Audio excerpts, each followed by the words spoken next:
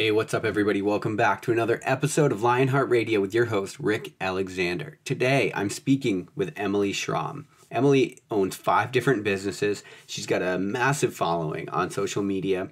And she started out actually on MTV Real World way back in the day and then uh, sort of parlayed that into this really incredible career where she's really impacting the world in a positive way. She's also the host of the Meathead Hippie podcast.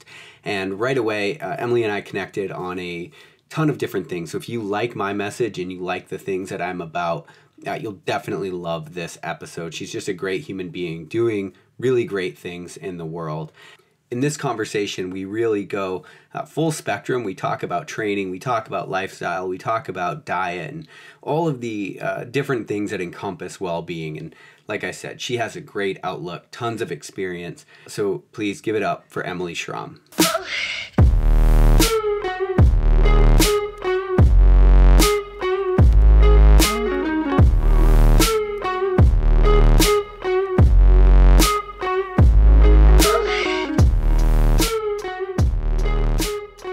So, one of the things that I've grown to really like about certain people that are influencers within the health and fitness community, one of the things that I've picked on that makes their message a little bit more authentic is when their platform, their products, the things that they do, and the message that they stand for is sort of a reaction to some kind of adversity. And so that's how you know it's like whatever their ideas are about motivation or growth have actually been stress tested in some kind of arena and they're not just recycled Instagram garbage, for lack of a better term. And so I thought what where we could start is maybe go to the beginning, some of the adversities that you faced that that served as a catalyst for this sort of crazy lifestyle that you've built yourself. Oh, that's a fantastic first question. Uh, thank you, thank you again for having me on. I'm really excited to chat, and especially after that question, that's a beautiful first way to introduce this because I do see the same things that you see, where it's just, oh my God, again are we talking about this again you know and yeah. i i think i think we're all in this place of trying to figure out where we fit in and the message that we want to convey and who we are in this world but I always think that the process, you know, it's good to share the process, but it's also good to be vulnerable that you don't have it figured out. And so when people are saying some, some statements on social media so definitively, it's just all bullshit because we are all still figuring it out. And so I think that's really the coolest thing about what's happened in my life is that everything was just started it started it was ignited because of curiosity. And i think the biggest thing if i could think of the first thing of adversity or really being uncomfortable enough to push me to the to the place that I wanted to create change in myself was seeing myself on reality TV. I think that was honestly what it was. I think it took, you know, you can look in the mirror and you can kind of avoid things and you can delete pictures you don't want to see, but there's something very big about saying, oh shit, I'm on TV right now and I hate who that is to the point where this experience, which I should be excited about and it should just be a learning experience, it was, it was like, I was ashamed of it. I didn't watch it. I didn't want anything to do with it. Uh, I really retracted from that life. I didn't want to do anything about it. And so I try to retract, I try to run away, and that running away just left me empty and sad. And I was like, okay, so there's no running away from this. What can I do? And the only thing I knew, it just was like this calling go to the gym. And I didn't know, I've always been going to the gym. You know, I played soccer growing up. I played all the sports. I loved being the tomboy athlete, but I never had a system when I was in the gym. I would just make things up when I was there. And so really kind of pushing myself into the gym and and feeling, "Oh shit, I can really change my body. I can really put my mind to something and commit because I thought I was that person that could never say no to cheesecake or could never say no to mm-hmm. ta- Taco Bell. Like that was, I mean, this is going way back. This is college days of I would always be the person that didn't feel like I had self control and I didn't have commitment and I would try things and I would fail things. And I realized the things I was trying and failing at, it was just a horrible fit. It was unsustainable and it just wasn't real life. It was one of, it was either crash diet or binge and purge. So, that was really my first step into ultimately the career that I have now with health and wellness, but really making sure people understand that they have all the tools if they are finding the right fit for them. Hmm. I love that. It's something I've noticed, but for a lot of the a lot of the people in this space that have sort of made a good brand for themselves is like Well, one, I love this idea that they just are vulnerable in the fact that you're just waking up every day and making it up like everybody else. Um, but the big thing is, I, I, what I see is people tend to distance if they see somebody, let's say like yourself, with a big following and a good in a in sort of a their voice kind of cemented in what they're doing in the community. It's easy to distance ourselves from from that and be like, well, they don't understand the struggles I'm going through because I'm the person that can't say no to cheesecake or I'm the person that you know fill in whatever sort of pleasure seeking behaviors right there. And so I just think it's so interesting that that you're willing to be vulnerable about that. And I think that's probably one of the things that really helps people identify and connect with what you're doing. Well, uh, yeah, I appreciate that. I mean, it's it's so frustrating when you see this huge divide of like, yeah, my cravings are gone if you just eat more vegetables, but in real life, it's it's we if I think about it, the thing that's always stuck with people the the hardest where it's just relatability and understanding like even though we feel far away from that and we've been doing this for eight seven eight years or however long and it feels like forever ago like thinking back how do i get that person that feels like they've tried it all and they just are stuck how do i get them to remember that it's not it's not over yet they still have a they have a chance to really change their life around. And so then you just have to put yourself in that position. And I, it's, it's always, it comes out when I write about it. If I like think of, you know, if I'm writing something about well what happened when you wanted to change your life and you're like oh well i decided to go to the gym so i think it's cool so i think if you're a social media influencer if you're a business owner like digging into details about what made you change that decision or make that decision to change and like as close like as much as you can remember, that's what people resonate with. That's what makes people stick because if not, you're unaccessible. You're too far away. It's it's like, oh, that's a good idea. I'm inspired. Maybe I'll try that workout, but I'm not good enough to be that person. When in fact, you you absolutely are. Mm. I love that you sort of gave a little insight into your process there. But one of the things I often say is that I like read to make sense of the world, but then I write to make sense of my world because it helps me to sort of organize all the thoughts I have bouncing around my head every day. Do you journal? Yeah. Uh, what kind of writing practice do you have as far as that goes? Oh yeah. So I recently started this. So I've always um I was like the weird kid that wrote poetry at a very young age. Yeah. So and I remember feeling it was almost like too dark. So for a long time I stopped doing it because I didn't want to feel and it poetry comes out when you are really feeling you you aren't numbing it and i think um, it was a moment i was visiting back home and when i was six i decided for christmas presents i was going to make everyone a poetry book. And uh, i grew up in a really weird situation where i actually grew up in a what i call the cult. And so this is like dark six year old poetry. This isn't like i love my mom i love my dad my my dog is cool. It was really intense. And when I read it and I was like, a six year old version of me wrote this. That is insane because I can relate to this as a 29 year old, you know? So I finally realized that poetry for me is the only way that I express things that I don't know how to express. It's just, I close my eyes and I just write. I don't even know. I don't know. I don't want the lines. I sometimes just type and I just let it out. And if I wait too long, I will finish like an airplane ride with no Wi-Fi with pages of just thoughts and randomness. And then you can look at it you know maybe not right away look at it because it's a little overwhelming. You just let it sit there. And then two days later you read it and you're just like what? I wrote that? I was going through that? And you can start to put together trends of what experience got that out of me what experience allowed me to feel that, whether it was euphoria or whether it was darkness, you know, and not being afraid to like not running away from it, but understanding that we are all we are all so complicated. And i always say that i'm just such a nut job. Like i really am a nut job. And the only way that i feel good is i have these journals uh, and i carry them everywhere and i write any of my thoughts. I draw sketches and yeah, that's definitely that's a huge piece of my process. And a whiteboard. A whiteboard is also like one of my favorite top 3 things in the world. So whiteboards with a well replenished marker and some notebooks. mm.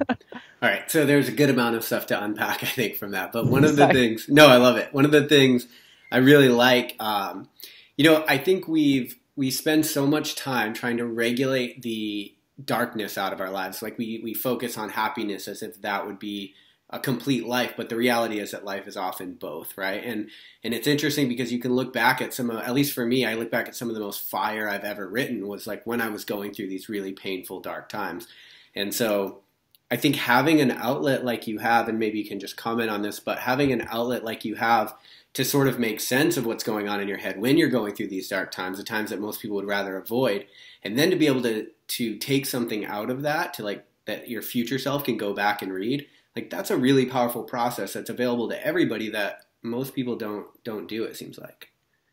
Yeah i and i think it's because we avoid. We don't want to feel pain or we feel like pain is weakness and we want to showcase us feeling happy and i will you know i want to have this expectation. I want others to see this expectation. I honestly think it all comes down to ego. It comes down to how we want the world to see us. And uh, that might not be very much that, you know, I think people see ego as a chip on their shoulder and like talking about themselves all the time, but it's not. It's what do you care about so much that other people see that really isn't the truth. And so, really making sure that you understand that everything you're putting out into the world or everything that you want to do in this life, the pure purpose is not how others see you. It is because if you didn't do it, it would it would hurt. It it's it has to come out of you.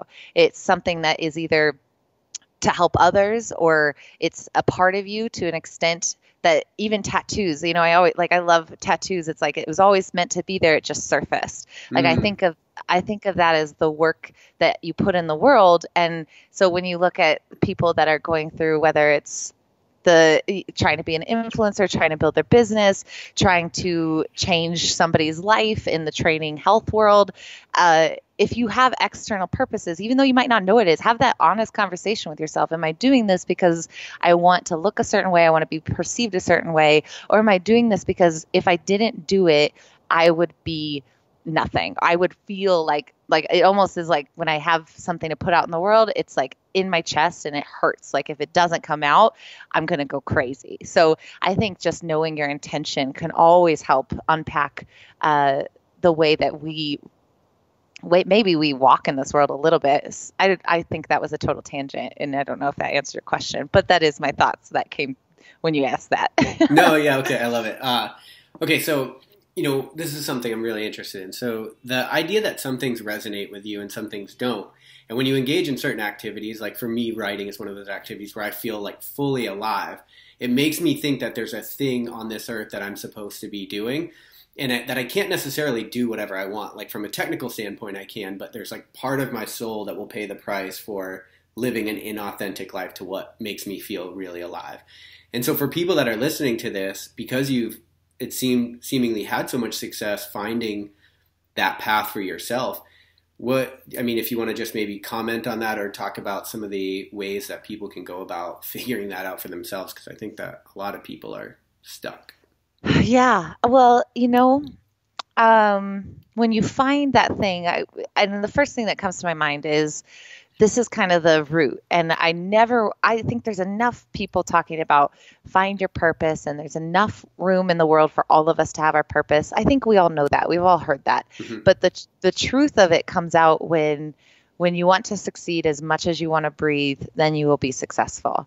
And I know that's such a dramatic quote, but it truly is the sense of urgency that you have to have. And if you don't have that, then there is no shift that will happen anytime you get to the point of I am I'm so uncomfortable. I hate this. I I have to make a change.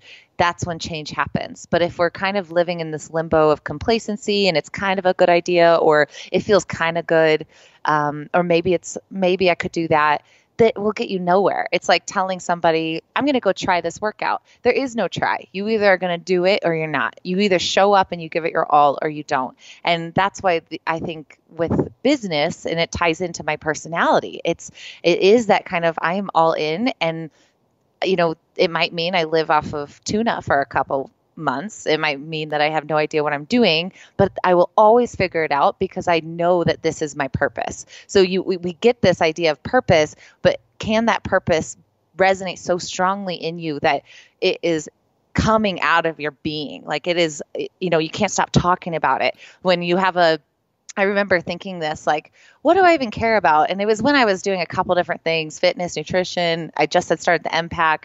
And when I would do a lunch and learn in front of people and talk about the, like basically what what your cravings are telling you. So your micro defici- nutrient deficiencies.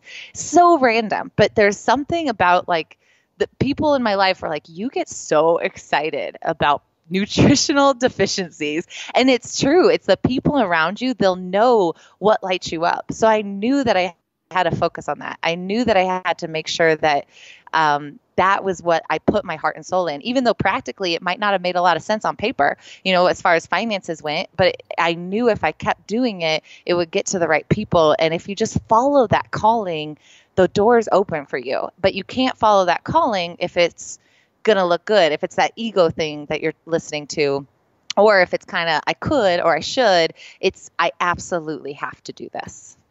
Yeah, it is difficult to know whether the sort of call to adventure that you're hearing is from the higher self or from the ego because we have all this programming and patterning that's like essentially told us what the world expects of us and like what we should do, what, what would look good, what would look good to society. And we have all these built up success metrics that really don't mean shit in the long term. Uh, but but we have a tendency to let those control the narrative in our head. And so, is there any kind of practice, and maybe it's meditation or anything that you rely on to sort of tune the world out and tune the inputs out so you can make sure you're staying in alignment with what you want? Oh, that's a great question. I am I'm going to be fully honest, I'm fucking horrible at meditation and I need to get so much better at it, but it's something I have to do. Uh, but honestly, my meditation is nature it is always being outside and not having emails, not having phone, cutting social media time, whatever your social media time is, look up on your you what is it called? The screen time? Yeah, and screen time in your settings. Cut it in half. That that alone, that step will allow you to have clear channels because you can't have clear channels which with as much input sensory overload as we have. It's insane, I think, and it's easy for no matter what level you are, whether you're just starting or whether you have done this for 5 years, if you don't just clear those paths to feel like you're in your own lane.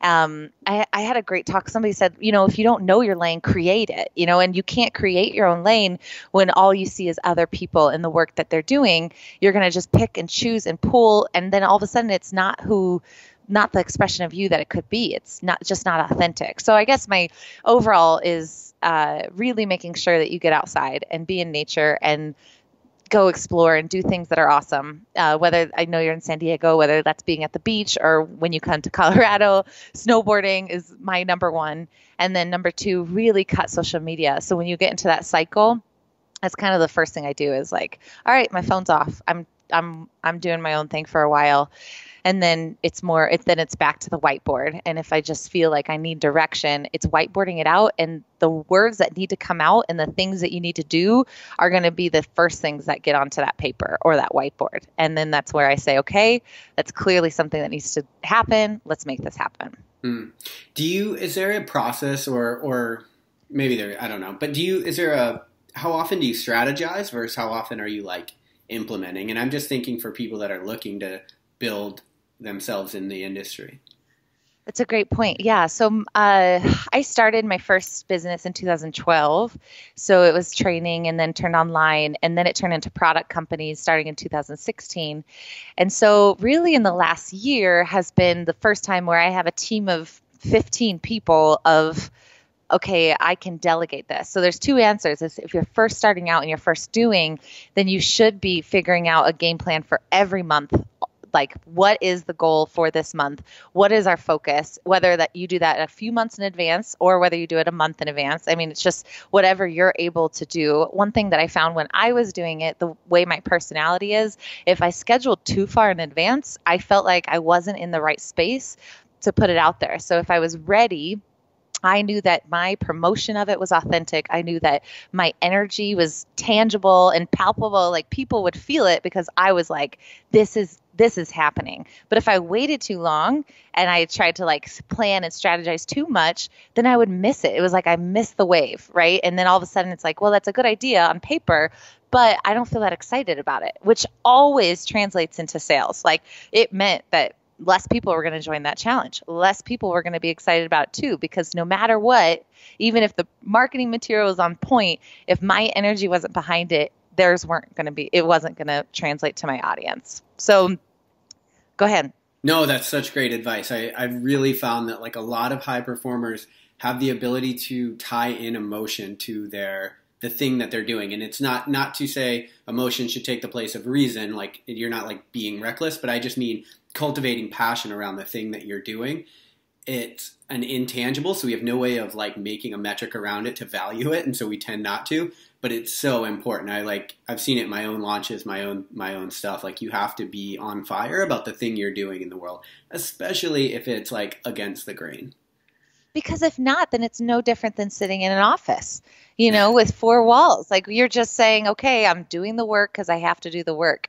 So for me it was finding the team that i was bringing on as i grew saying i you guys have to know how i operate. When it's ready like I'm ready to launch this program, that means we have to launch it within two weeks or it's going to, that wave has been gone. So the way the team works originally was like, boom, cool, put this together, help you execute, and then implement. And that was awesome because I started to see, wow, I can be so much more creative without having to worry about the logistics, plugging in the challenges, helping with promotion, discount codes, marketing, newsletters.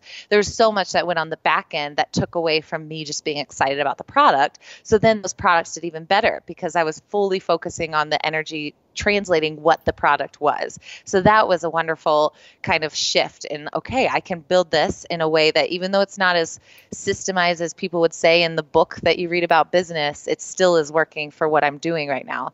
And then you can kind of get into so now so I have uh, five companies, and all of them have their own strategy meeting. We have a check in meeting every week, but a strategy meeting for every quarter. And so it's a full, I want them to see my brain. I want them to know my direction. I want them to know my goals for that quarter. And then it's saying, working backwards, well, okay, if that's our goal for this quarter, what do we need to do to get to that point? And so strategizing has become the fun part because then it's just communicating to the team and been really cool that way. But most of it is implementation. It's maybe one big strategy meeting and check-ins and then the rest is let's make sure this is getting done. So you started your first company in 2012, so like 6 years ago. Did you did you kind of always know that you wanted to be an entrepreneur or had to kind of do your own thing? I mean, I knew I was a rebel, like the four tendencies, Gretchen Rubin. Uh-huh. I've all I've always been someone terrible under authority in, in real in real jobs. I don't do well with it, especially uh, especially I just really butted heads with a lot of men that were ahead of like above me and I just I don't handle it well. So I knew that that was something I was always going to have to work on, but it really got bad when I was um, I had was working at Starbucks went through this gym transformation, really understood, okay, I think I'm going to be a trainer. I think that's what I'm supposed to do. I don't know if that's a long term goal. I just know that I know enough to really help people change this mindset of what the gym could look like for them. And so um, when I was in the process of becoming a trainer and I was like washing dogs on, um, on the side and then training at a 24 hour fitness, oh my god i just was surrounded by people that just oh it was just the worst. And it was in that moment where i was like there's no way i can do this unless i start my own business. It wasn't even i mean if i was at a gym maybe like my gym where i was like i could fit this. I like the vibe. People respect me. People talk to me. But being a female a young female trying to be a trainer when you can lift more than the men was not a good combo. So it was very much okay. That's the only way I know how to do this is if I do this on my own. And so I had I, I would have a no desire to even say sometimes even saying I'm an entrepreneur. I mean I know I am, but it's just everything came out of an a process that I went through and a necessity or an ask from a client. So it got it just built one after the other, one after the other, and it, I had no intention of doing it, but it you know it's the best job in the world now that I'm doing it, but it's definitely not what I expected. Mm.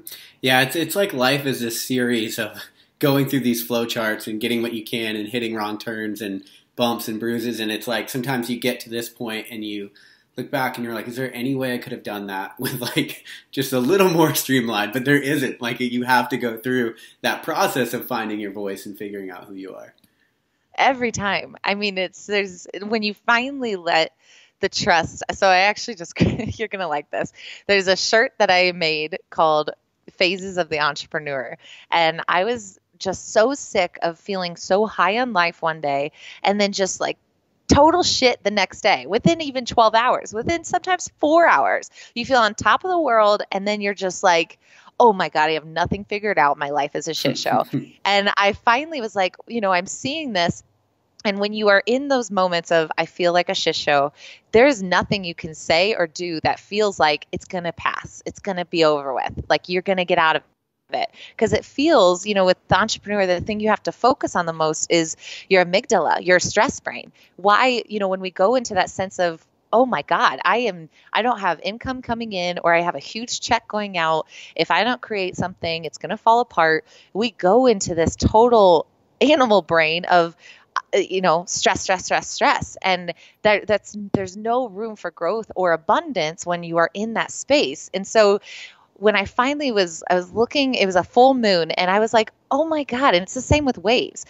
Everything is cyclical. And so it's phases of the entrepreneur, and it's like the full moon is like, I'm the shit. And then it goes like waning, and it's like, oh no, oh shit. oh my God, I need a nine to five. And then it's back to what we want. So every time I'm in those moments, I just remember this is a cycle, whether I'm out of it in two weeks or one month or two hours, I will get out of it because I've always been able to figure out a solution. And so when you trust that you have everything inside you to get out of a hole, then all of a sudden you can release that and not worry so much about it and know that it's happening in its own time. And that's been the biggest shift that I've made the last year. You know, really understanding that if I can let go and know that I'm on my own journey and in its own time, and it opens doors like you couldn't even imagine. Mm. I love that you said that you trust everything inside of you because I think sometimes when we have we we look externally to solve very like internal problems and so when we're going through these phases like the reality is that we get caught in these sort of um, we live in lack, right? We don't live in abundance, like you said. Well, the answer to that is to look inside of yourself and to realize that the only way out of this is to change your mindset to one that would allow you to live in abundance and to create, and, and I guess just go into creation mode to get your way out of it.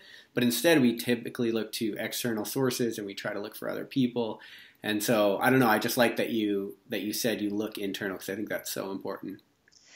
Oh, yeah, I think you know I'm, I feel blessed with the fact that I always felt like I had somewhat, even though I had a lot of insecurity issues and a lot of self doubt at stages in my life, and you know self hatred even, which really pushed me to get to the gym. It took a lot of self hatred, mm-hmm. which turned into it still turned into a good thing. So I'm not saying that intentions have to be perfect for you to have abundance in your life but there is something about the sense of self and there's a quote i I used recently. It's like uh, when you you have to teach your sense of self to stand up on its own two feet instead of instead of on all the people that you meet something like that where it's we're so used to saying i don't know the right answer i you know i've been told that by the way by my education i've been told that by my parents i've been told that by my family i've been told that by fellow entrepreneurs or business owners that the way I, I want to do it is probably not the best, or we just don't even give ourselves a chance to figure it out. We go to books, we go to self help, we go to podcasts. And as much as I love those,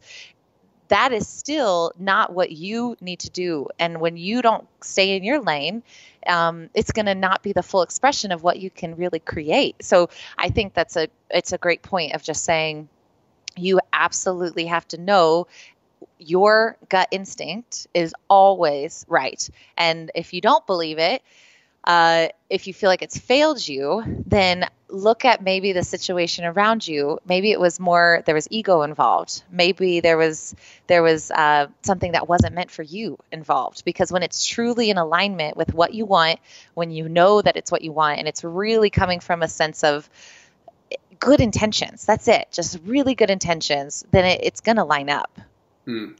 I like that you you recognize that sort of that self-loathing got you to a point because that's uh, something I think we we neglect sometimes, especially with this sort of self-love movement.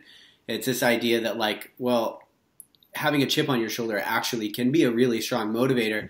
But then you get to a point where you realize, okay, what got me here isn't going to get me there, and so you have to figure out a way to look inward and, and be okay with just you, who you are, without all of the things that we wrap our identity up in order to continue to progress. Um, but yeah, it's worth mentioning that that can be a powerful motivator to get you to a certain point. Yes, and I think under being real about that because I think with all these business coaches and kind of uh, this wave of I can help you make a six figure I don't know whatever whatever you see on your Facebook or Instagram. Yeah, yeah. Um, what I see all the time is that you cannot create from a place of stress. And I think that's just total bullshit because I was stressed out for the first six years of me training. You know, I didn't start my own business, but you're like, oh shit, you know, I have to I have to fund this. I don't want to take on an investor. I don't want to take on debt.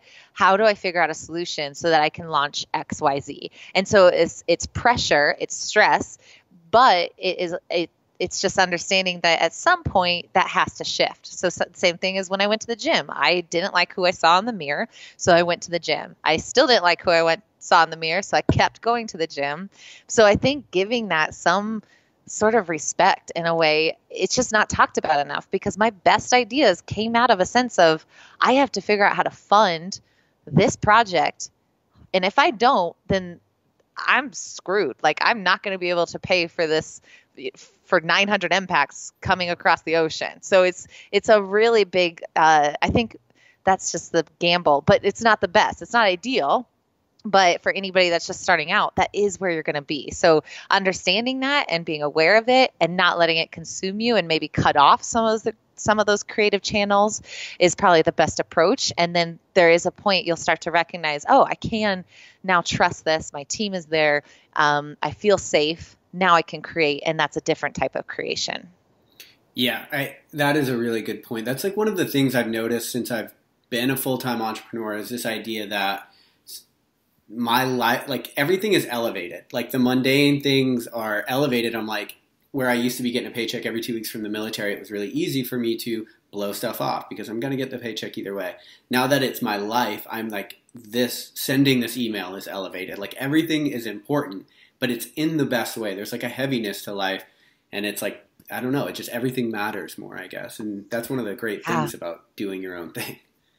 And that's what's so important to understand too. Is like, well, you know, I love the idea of this working for your own self and working for being your own boss, but it does take that type of personality. It does take that I do well under pressure. I do well when I know that this email is that important because a lot of people, if they know that email is important and it doesn't happen, it doesn't get sent, or they overthink it, uh, you know, it's not perfect yet. They still have a product that's in process. They have an idea, but they don't have execution and they don't do it. They hesitate that's that doesn't get you anywhere. You have to be it's that all in mentality. And so when I see people really struggling I mean, it's okay to work for somebody else if that's the case, but uh, yeah, I totally think that it's it takes a type of human, and um, some of us do thrive in it, and some of us are like, oh my god, this can't be anything but stressful. So, not to discourage anybody that feels stressed out, please don't take it that way, but do know that it is it's a um, it's a trait that you almost have to learn that it's every email is just as important as every phone call, and every phone call is ever important as the best business meeting with the top person in your industry. You have to treat it that way. Yeah, and I, I, think it's worth pointing out that we live in this sort of culture where being an entrepreneur is like the rock star of our time. And I don't want to be the person that says everyone should be because I do not believe that that's the case, and I don't wish this life on anybody. I just happen to realize how built for it, like I personally am, and even so to the point now I'm like I realize how unemployable I am and I'm like I can't believe I ever did anything else. However, it, is, it takes a very certain kind of archetype in order to thrive in that environment and that's important to recognize. Yeah, do you ever do um, have you ever done the Enneagram test? Yes. Somebody just sent this to me. Yeah. Do you know what number you are? Yeah, 7 swing to an 8. we're the same human.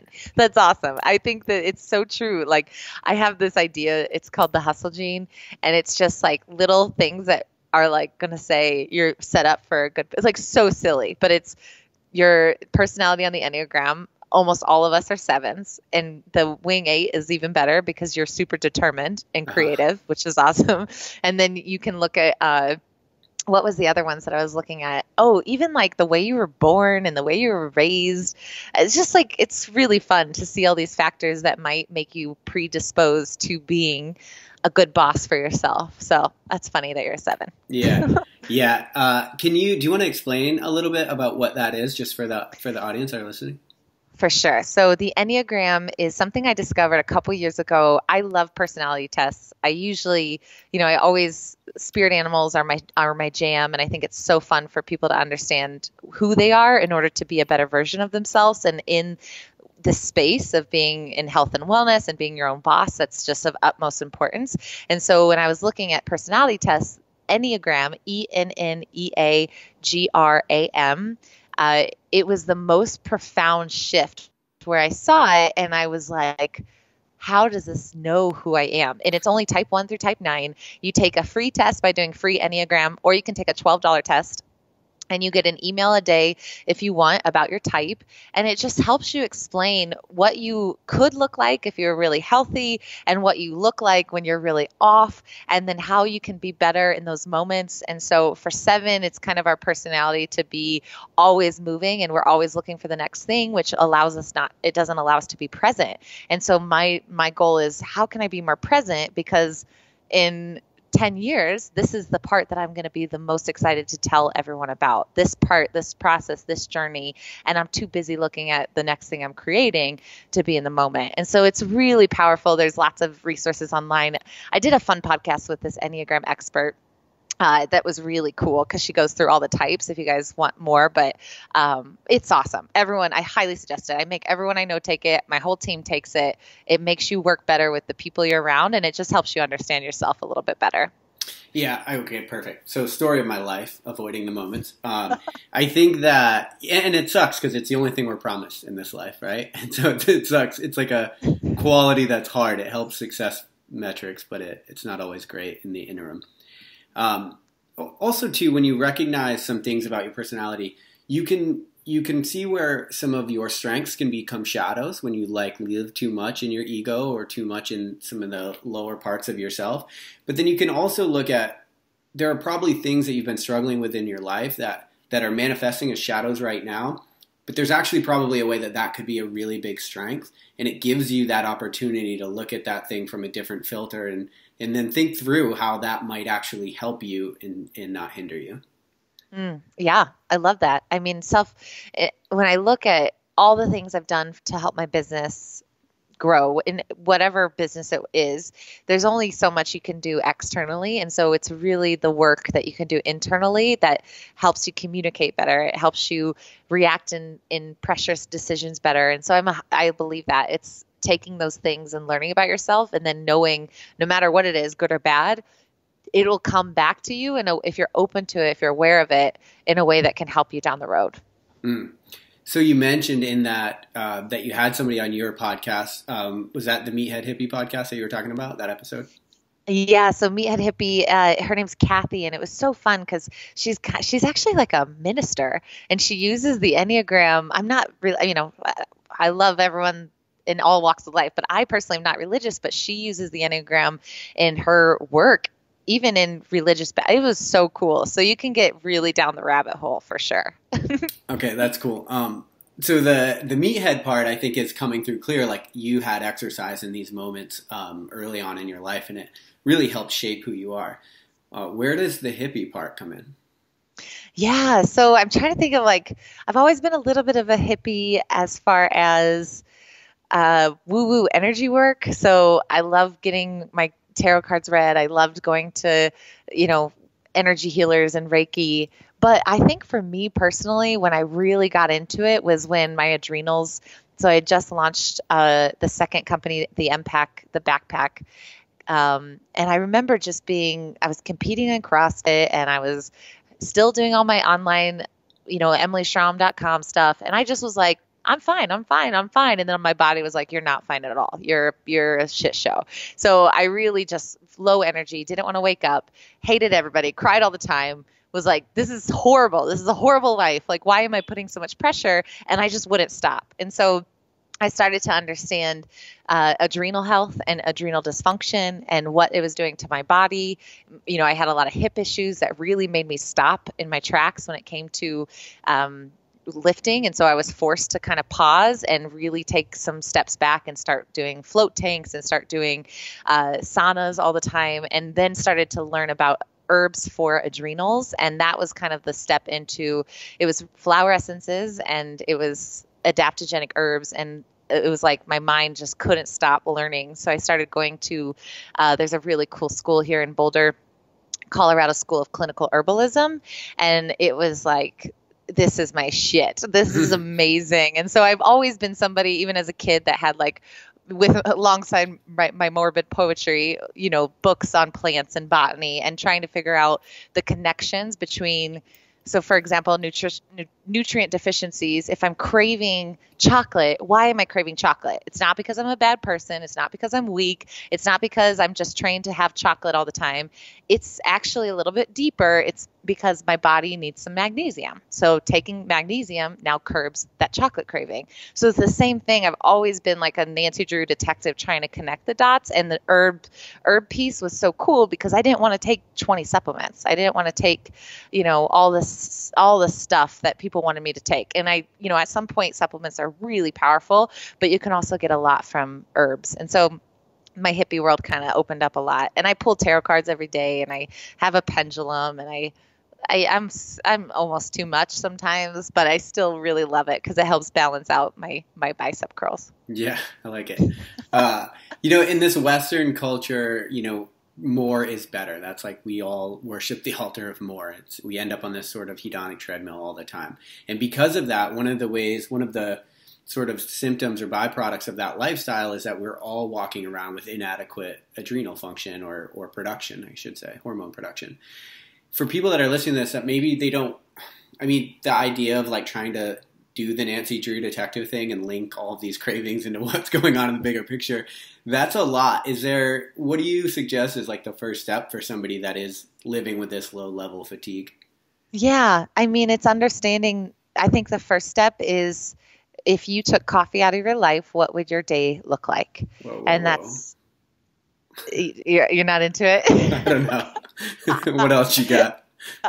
Step two. Uh, well, that was the eye opener for me because I thought my energy was really good. And so, I guess a brief description of adrenals adrenals, the root being adrenaline. So, if you think of your stress and needing to leave some a situation very quickly, whether that's traffic or whether that's uh, a bear chasing you, your body responds the same way. So it shoots cortisol through your system, but cortisol is only supposed to be used in sparing cases and it's used all the time in our society. So this overdue of cortisol puts us in this stress state. And there's times where we have too much cortisol and then it gets to the point where after a, a long time, our body says, F you I now have too little. I don't have any to give you. And so we really start tapping into, for me, for my athletes, it's like the incontinence. So actually, it sounds crazy, but glute activation not being able to happen, peeing on the floor in your lifts, um, really struggling with waking up without a lot of coffee, not having a good time in your workout or after your workout you have headaches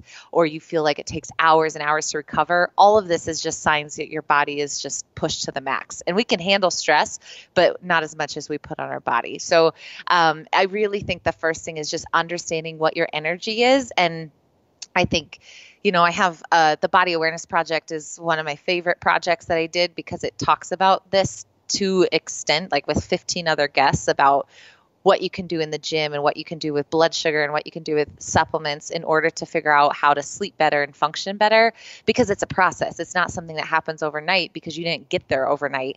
And so um, I think the best thing to do is say, how do I wake up in the morning? Do I w- wake up groggy? Did I sleep through the night? If you wake up every night in the ma- middle of the night around three o'clock, that's usually a blood sugar issue. So then I would just say, let's focus on eating really nourishing foods eating enough fat at those meals um, and making sure that we're digesting them well. And if any of those pieces are off, long term, it'll cause adrenal stress. But that's something we could always focus on.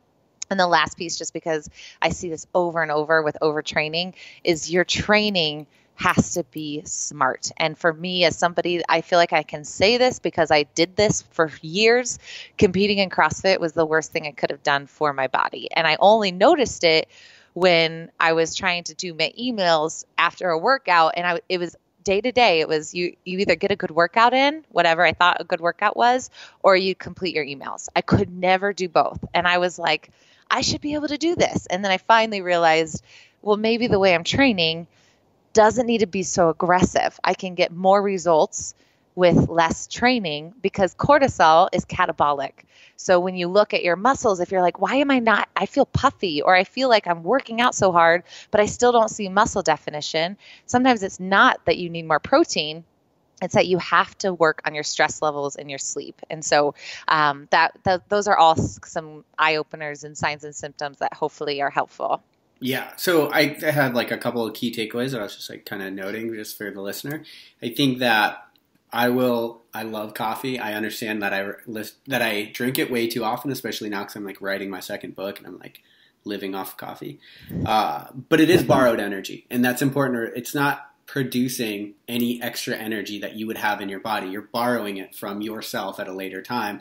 And so, just like any other bank account, if you continue to take, you are going to be stuck with a deficit. And so, I will say to your point, I agree.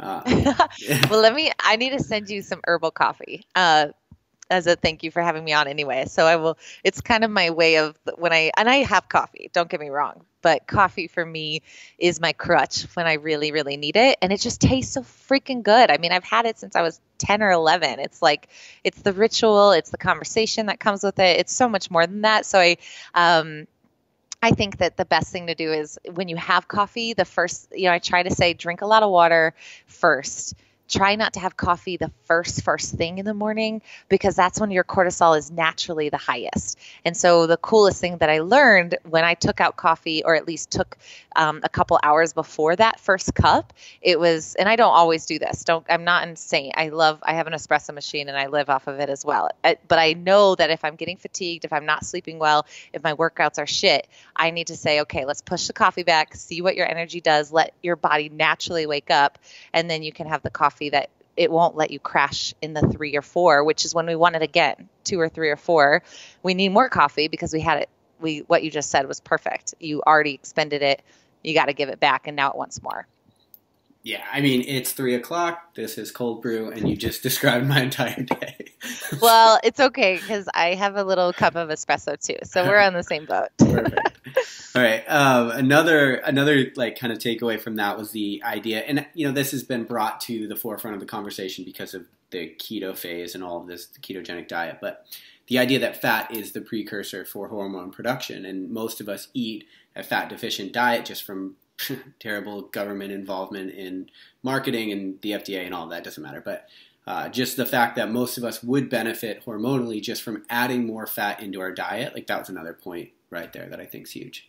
I am obsessed with fat, especially for somebody that's had brain trauma, for especially for somebody that has had yo-yo energy and hangriness. You know, the my only qualms about the keto movement, men tend to do way better on it, and I also think that when you think about the way you digest fats, that is equally as important as using fat as fuel because we can't get to the point of fuel if we're not digesting those fats. And so the biggest issue I see is just when you get into that higher fat diet, be nice to your gallbladder. Like really work on making sure you ease into the higher fat diet. We're not just all of a sudden full keto or high fat or you know, following a meal plan and we have butter and bacon, you will just completely traumatize your body. And sometimes it works for a period of time, but it does catch up, especially for women.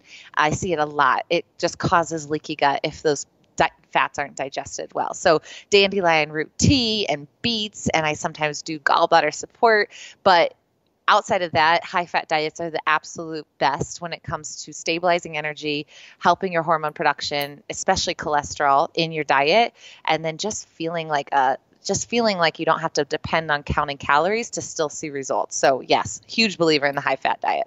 Okay, perfect. Yeah, that was great. Great advice. Like the on ramp there, can people just are like, oh, I'm doing that now. That's what gets me results, and then uh-huh. crash. Yeah.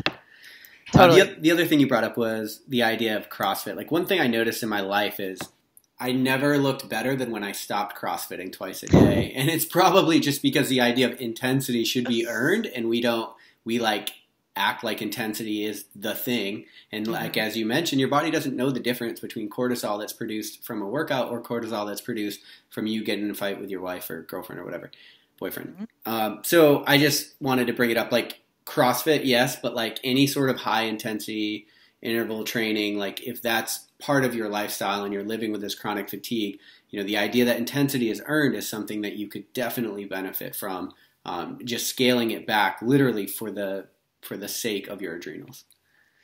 Man, I fall. So I have so many places I could go with this. I called my gym. My gym I just opened the CrossFit Rehab Center, which I'm gonna get in trouble for at some point. But sure. it it is so true. You know, when I was uh, so when I was CrossFitting and also I do muscle testing and like I call it my witch doctory things and testing people for adrenal issues or gut issues. One of the things I kept seeing with every person that CrossFitted was insulin resistance. And I would see their diet and I would see their body type and it just didn't make sense. But if they had any amount of sugar or carbohydrate, even if it was a sweet potato, they would bonk and then they would go to coffee and then they would do it again. And so when I was asking some doctors and sports uh, sports researchers like why is this happening it's because if you think of your cell cell to cell we're just a big pile of cells anything damaging can help can it can basically cause our cell to not receive insulin the way it's supposed to. So your diet could be on point, but if your workout is so intense and so damaging and it causes insulin sensitivity issues, meaning we no longer respond to carbohydrates well, that's a huge problem. That was like the first light bulb of, oh my God, this is like not just making me tired. This is damaging my cells, and I am nowhere near recovered enough to do it again. And so that's the thing. It can be great in small doses, but every day or even three times a week at that intensity is not you. You can't recover enough unless that's all you do, or unless you have the best supplements and the best diet. And there's people that can do it, right? But there's there's a big difference between CrossFit Games athletes and then most CrossFitters. And so that was the eye opener for me. And when I realized, okay, what does my body body need it was always I was craving just doing old school bodybuilding workouts because that's how I started. I always started with bodybuilding and then I found CrossFit, so I kind of blended the two together. And so that's really the concept of the gym. My favorite way to train is always pick a primary lift and that's some sort of, you know, it could be cleans and jerks and snatches if you really love them, but for me it's squat, deadlift, press in some sort of degree and I love the conjugate method specifically because instead of just doing heavy heavy weight, you can do bands on the barbell, you can do chains on the barbell barbell, you can change the intensity by lowering the weight, but still having high resistance with the bands. It's so less taxing on your CNS.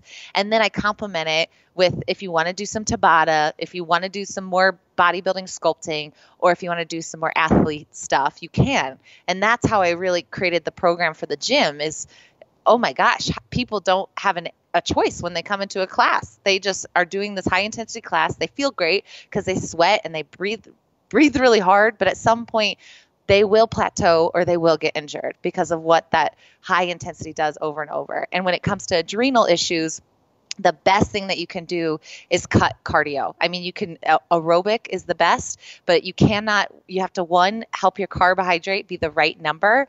If you're too low in carb and you're doing high intensity intervals, it's gonna hit you in the face. So don't train fasted if you're doing high intensity interval training.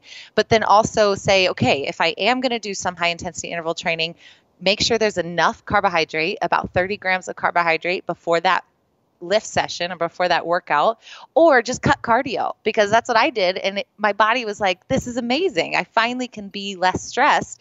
Just focus on primary lifts, just focus on bodybuilding style workouts. Give your time, give your body time to rest and recover and it is really cool when you're like, "Wow, I I am less stressed and I see more results because of that." That's a long answer. I'm sorry. No, it's great. That's absolutely perfect. I think uh, just one of the things you said, just the idea that exercise can be damaging, like that, just having the awareness of that is huge because that conversation about, you know, training for lifestyle and training for CrossFit as a sport has been really talked about ad nauseum in a lot of podcasts, but but just just recognizing CrossFit or CrossFit, any exercise can be damaging. The more you train to compete, the more you're tipping the scale in that direction versus training for health. And so just that awareness, I think, is perfect.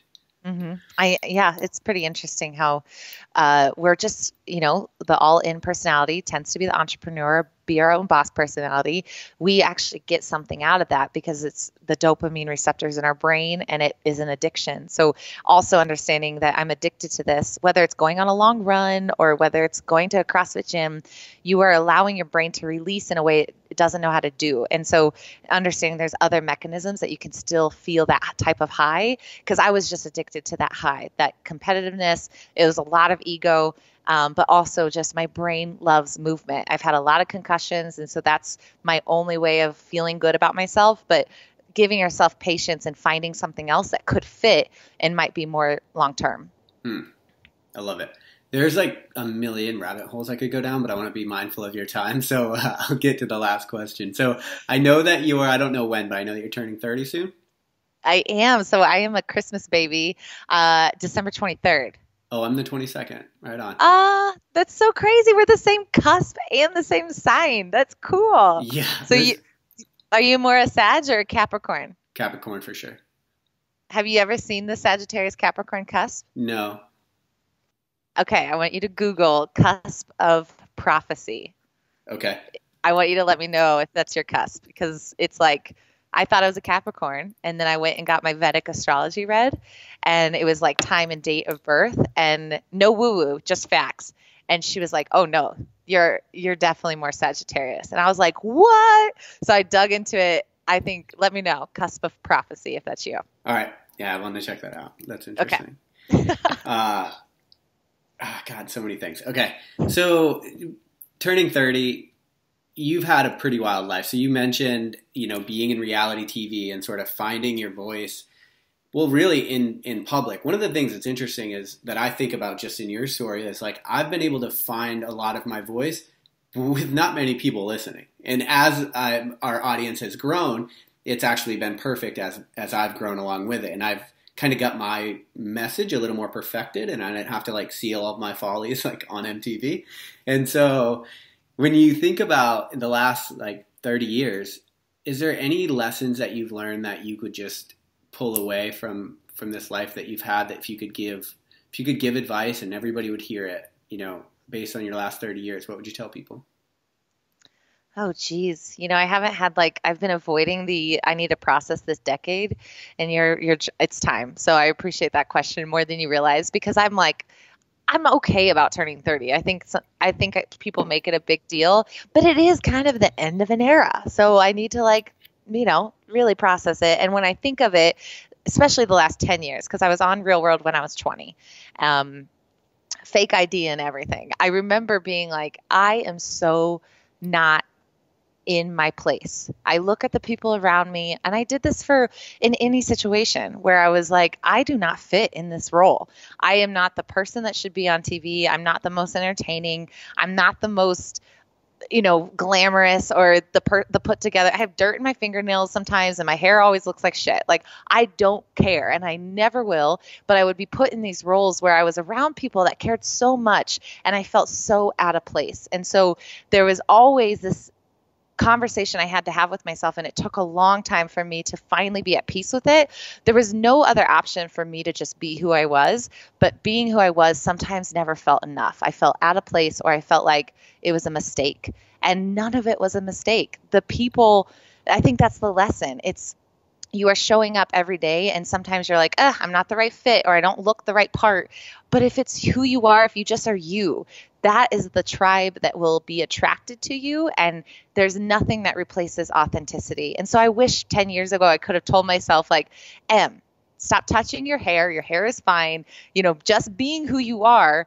That that was my first audience. It was the first people people that didn't relate to the people with the perfect hair and the people with the perfect body and the people with you know their shit together. I attracted those people and they were the people that would be my best friends and I would invite them over. And I didn't know that. I didn't know that just being who I was was allowing me to create this path, create this lane that turned into what it is today. And so I think that's the lesson. It's that you will always feel out of place, you will always feel inadequate, you will always doubt. And if you just are you, if you just if it doesn't feel right, don't do it. If it doesn't feel 100%, don't do it. If somebody offers you something and it could be a good fit, but it's something in you deep down is like, you know, I don't really, I'm not into it, say no. And every time I did that, it allowed me to have opportunities with the people that mattered and the the career trajectory changed because I didn't settle for things because I thought I should. So um,